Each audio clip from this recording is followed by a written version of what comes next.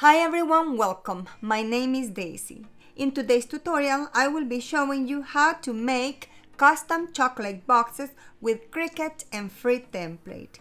These beautiful custom chocolate boxes are perfect to make announcements or party favors for any occasion, such as birthdays, weddings, baby showers, Valentine's Day, and many more. And for this project, you're going to need a color printer. I am using my Canon Pixma Megatank printer. To cut the template, you're going to need a Cricut machine. I am using my Cricut Maker machine, printable cardstock or photo paper. I am using Koala Inkjet Glossy Photo Paper. This is the 61 pounds and in letter size. To assemble the boxes, you are going to need a hot glue gun. I am using the Hiipoo cordless hot glue gun. I have been using this hot glue gun to make these boxes and to be honest, I am very happy with it.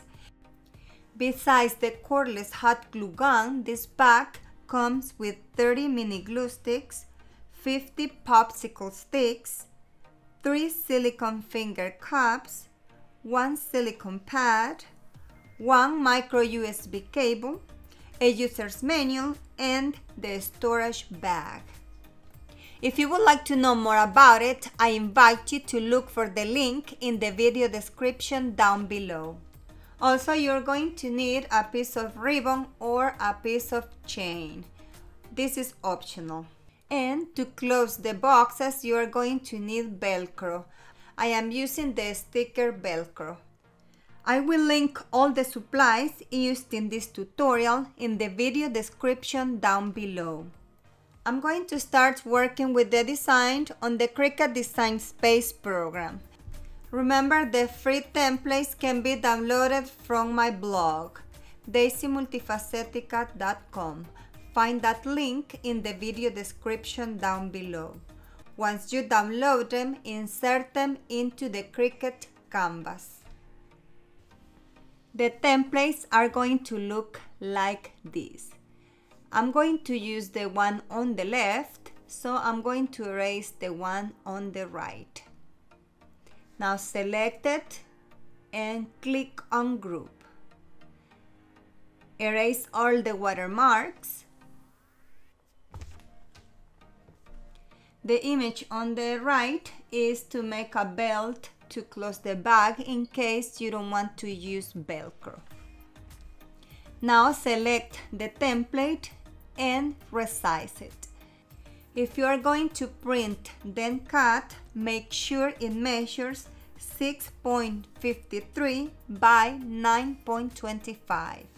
If you're just gonna cut it, resize it to your liking.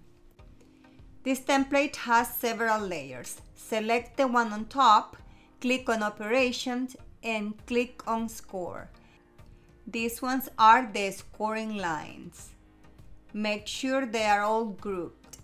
Now place them on the side and we're going to start working on the rest of the layers. This template comes in several parts to make it easy to add the designs that will go in two different directions.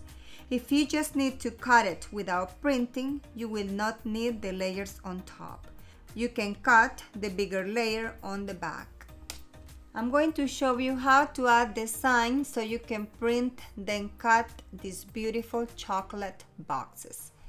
First, I'm going to insert a few pictures that I wish to use for this specific box.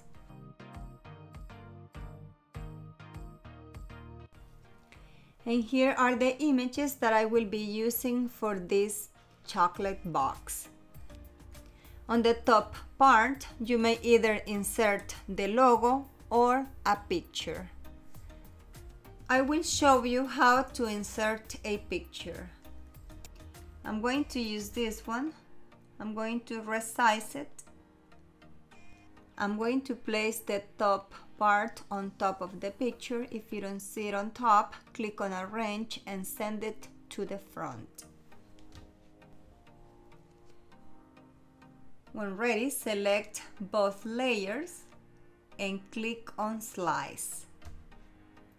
Now remove the layers that you don't need and place the one that has the picture on top of the main template.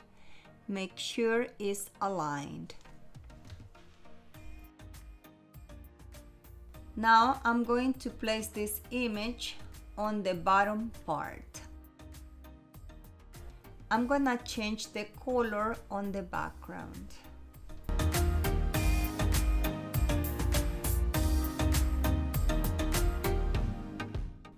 I'm going to add a few more images on the bottom part.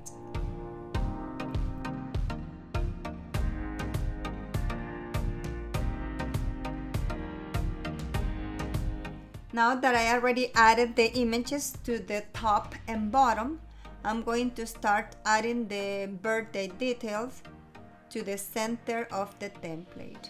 I am going to place a QR code and a birthday nutrition facts. If you would like to download the nutrition facts, I invite you to visit me on my blog. Find the link in the video description down below. Also there you will find the link where you can create your barcode or QR code. Those two sources are free. The images or text that we place in the center of the template go on a different direction. Make sure you resize the images or text and then rotate it to 180 degrees.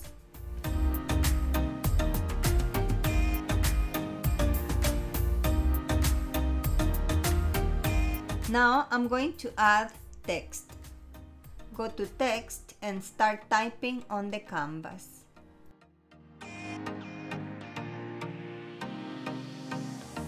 Now I'm going to change the font. Select the text, go to fonts, and if you pay the membership, click on Cricut. If you don't, click on System and there you are going to see the list of the fonts that you have downloaded on your computer. The one that I am using is called Adorable. I'm going to link it in the video description down below. Once you finish working on the text, select it and rotate it to 180 degrees. And change the color if you wish.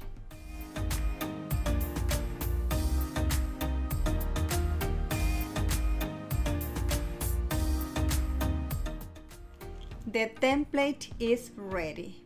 Once you finish adding the details, select all the template and click on flatten. It's very important to do this process every time we're going to print then cut. After this step, select the scoring lines and place them on top. If you don't see them, go to Arrange and send them to the front. Now select both layers and click on attach. And now it's ready to be printed and cut. I'm going to move to the next step. To print, go to make it and this is how it's going to print. Click on continue. Click on send to printer leave the bleed on and select use system dialog and then click on print. And here you're going to select the printer then click on preferences. And here either if you're printing on cardstock or photo paper you're going to select photo printing on media type, if you are using glossy photo paper, you're going to select glossy photo paper. If you are using cardstock, you're going to select matte photo paper. On quality, select high. And here, make sure you are printing on the right size. Here, we're going to select letter size or the size you are printing. Click OK, then print. To print the templates, I am using my Canon Pixma Mega Tank. This one is a color inkjet printer. After printing, we're going to select the material that we're going to cut. In this case, I am cutting photo paper, so I'm going to select photo paper. On the third step is telling you that you need to replace the scoring wheel if you are using your Cricut Maker. If you are using your Explore Air, you may use the scoring stylus. Remember the scoring stylus go on the clamp A and the scoring wheel on the clamp B on the Maker.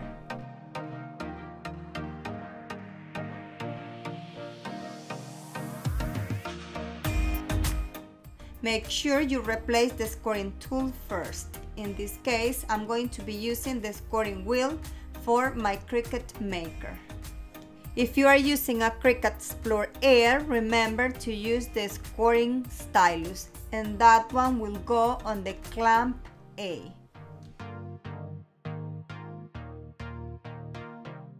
Replace the cutting blade when finished with the scoring lines.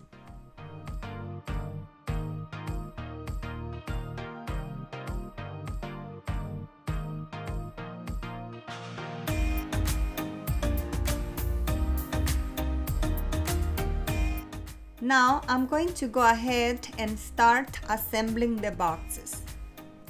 To assembling the boxes, I'm going to be using my Hiipoo cordless hot glue gun. Remember, if you would like to know more about this product, find the link in the video description down below.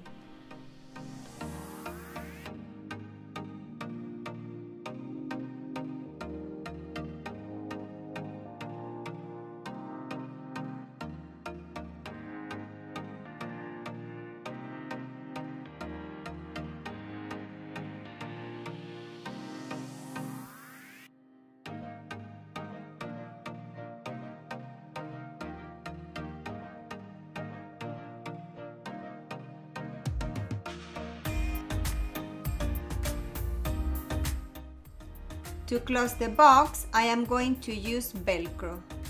This one is the sticker Velcro. If you don't wish to use Velcro, you may close them using this method. All of this is included with the free template. This is optional, but I am going to place a handle using a piece of ribbon.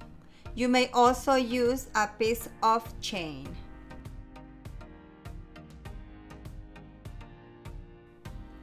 And here we have the beautiful custom Hershey chocolate boxes made with free template and Cricut print and cut. Remember to check the description below since there you will find the links of all the supplies, fonts and templates used in this tutorial. I hope you have enjoyed this tutorial and please don't forget to support my channel by subscribing, liking, and by pressing the notification bell. Thank you for your visit and I'll see you in my next tutorial.